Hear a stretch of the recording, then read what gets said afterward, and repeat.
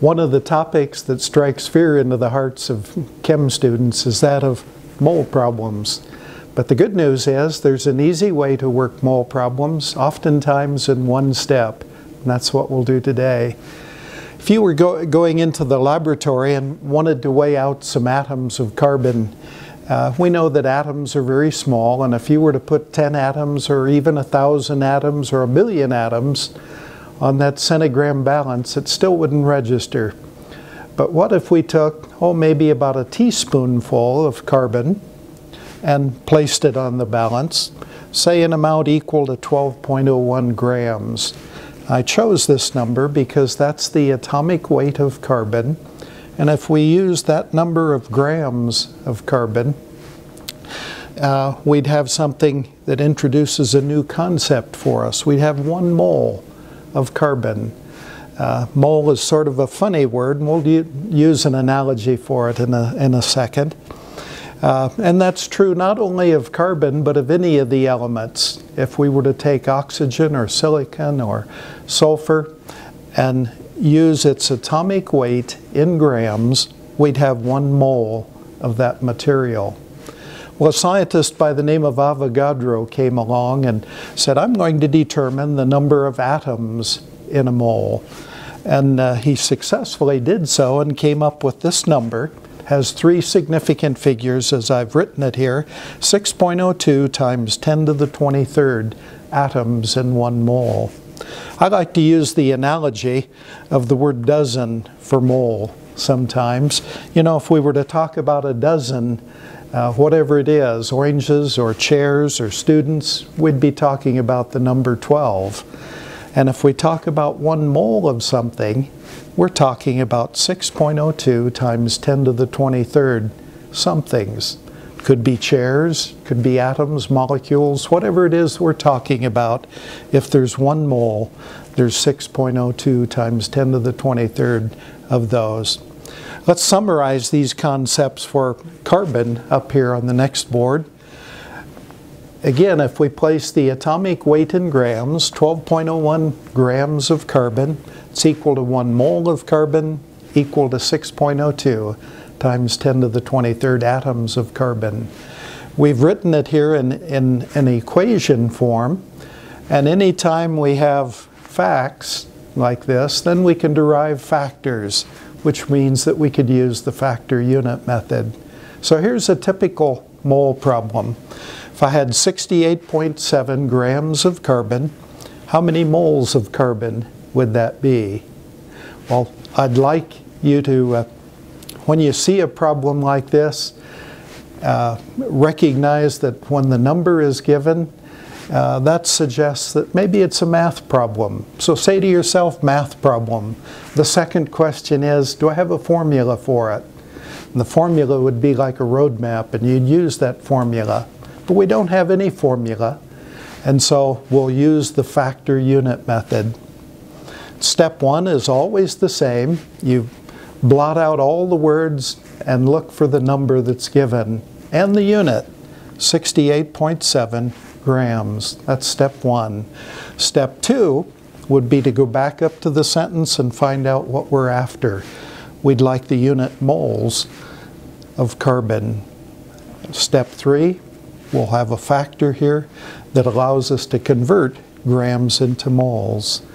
And it's always true if we set up a one-step problem that the unit of the answer comes up in the numerator and the unit that we're given comes down in the denominator.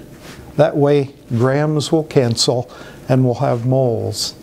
And the theory is, and it works very well, that if we set up the problem so that the unit comes out right, the number will be right also. Well, we get these numbers from the mole concept up here. Uh, the number associated with moles, well, we've got exactly one mole. So I put in two decimal places, 1.00 moles, the 12.01 grams of carbon, and when we multiply that out and divide, we get 5.7202. Looking back at the problem, there's one more step. We need to round to the correct number of significant figures. We have 3, 3, and 4. So three significant figures is what we need, 5.72 moles of carbon. Another problem that's very similar, how many atoms of carbon are in 10.0 grams of carbon?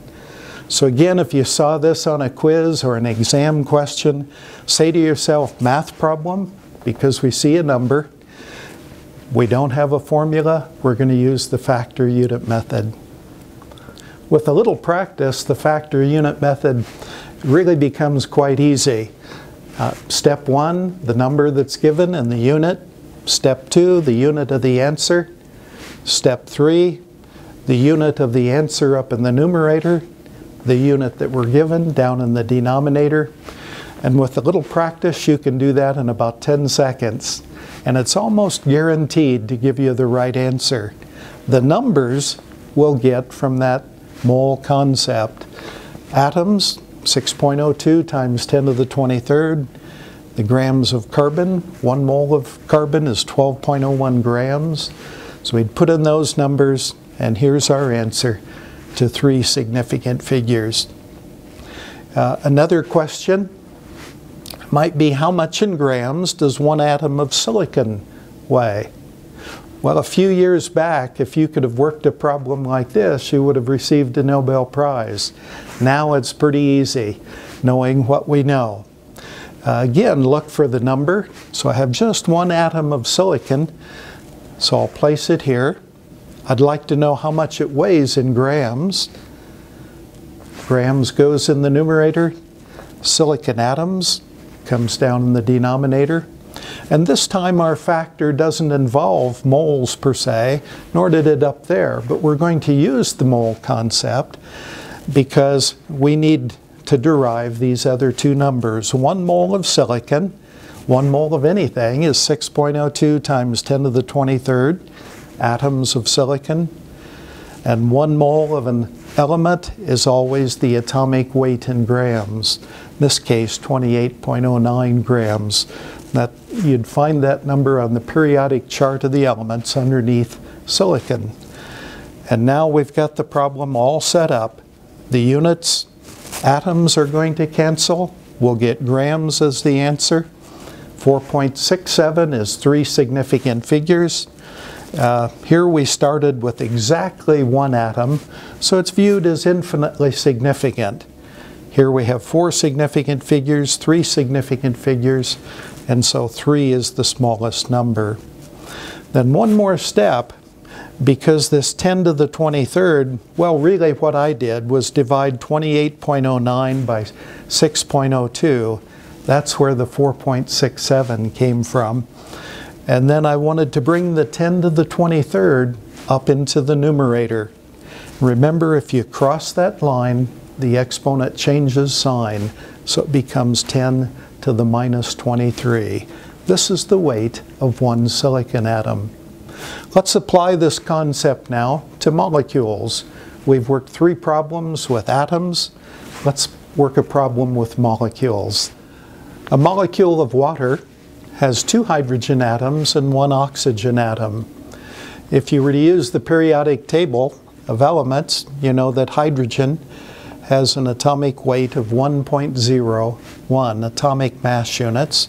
There are two of them, and oxygen on that table is 16.00, or the total, 18.02 atomic mass units, is the molecular weight for a molecule of water. And just as we applied the mole concept to atoms of elements, we can apply the mole concept to molecules and molecular weight. One mole of water, well, remember one mole of anything is 6.02 times 10 to the 23rd. And in this case, we're talking about molecules of, of water. And it's equal to the molecular weight in grams, 18.02 grams. Let's work a problem now based upon this equation. And uh, actually we have, what, three equations here. We have this one relating moles and molecules. We have uh, uh, one relating molecules and grams. And then we have an equation relating moles and grams. Each of those equations could, could produce two factors. So there's six problems here that we could work with molecules, just as there were six pro different problems that we could work with atoms. Every one of the problems is worked exactly the same. We can do them in one step, always. Here's a typical problem. How many water molecules are in 100 grams of water? What we're going to weigh a sample of water and, and be able to actually compute how many molecules are there. A terrific feat using the mole concept. Step one, here's the number given and the unit. Step two, we'd like to know the molecules of water. So that unit goes up in the numerator. Grams is in the denominator so that it will cancel. And now let's fill in those numbers and we get them from this mole concept that we just expressed, 6.02 times 10 to the 23rd in the numerator, the molecular weight of water down in the denominator. The answer, well, if we were to ballpark this, what have we got? 6 over 18 is about a third. A third of 100 is about 33. And that's what our calculator comes out to, 33.4 times 10 to the 23rd. We have three significant figures, we're okay there, but we haven't got the decimal in standard position. So if we'd move the decimal one place to the left, we'd balance that by indicating one more place to the right. The final answer is 3.34 times 10 to the 24th molecules of water. If you let the factor unit method become a habit for you, you can work problems like this in, in a minute or two. Uh, they're not difficult at all. You'll become a, a master of mole problems